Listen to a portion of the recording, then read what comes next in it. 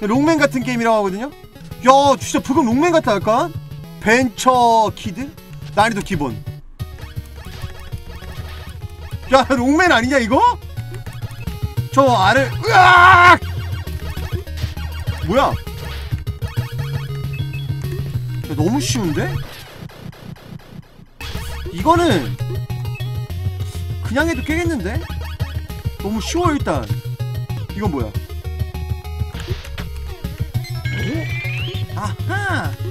이런 거로구만. 아 물고기 나온다. nice 풀피 자 보스전이군요.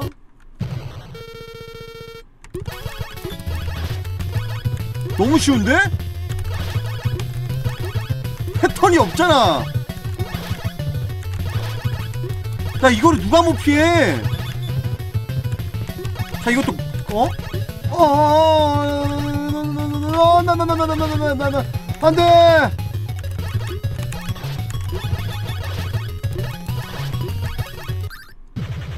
어때요? 존나 쉽죠? 그 보스를 잡으면은 능력을 얻습니다. 좀 이게 소름 끼치게 똑같은데 라이트 박사님이다. 야 이거 캡콤 소송 안 하냐? 록맨에도 charge shot 없는 록맨 많아요. 잠깐만 저런 보스도 있는 아 저런 형태의 개도 있는데? 야 저거 록맨 마스코트잖아. 짭맨인데 이거?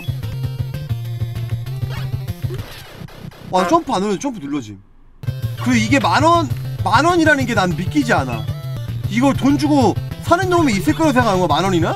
물론 난 만원 주고 샀지만 이거 록맨 X1에 있는 그 무기 시스템에 똑같잖아 거기서도 sub tank를 먹을 때 저 부메랑으로 먹어야 되는 스테이지가 있거든요. 캡콤 이런 거 저작권 되게 민감한데 이거를 오마주라고 하기에는 아니 아 그리고 아 레벨 디자인도 잘못됐잖아.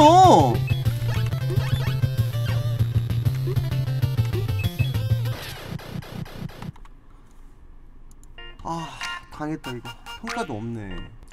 난이 짤만 봤을 때 와 이거다 싶었거든요 봐봐 어? 이 부메랑을 날리는 소년과 이 창을 피하는 절묘한 모습 그리고 하나밖에 남지 않은 체력 평가가 괜찮았다고?